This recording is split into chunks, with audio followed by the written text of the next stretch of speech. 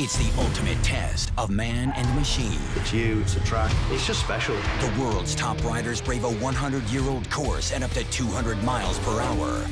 Gonna need the clock for this one. Steeped in tradition. It is the most famous motorcycle trophy in the world. I don't think there's anything any better than that. Oh, that was close stuff. No other motorsport event can compare to Isle of Man TT. Premieres Thursday at 7. Only on Velocity.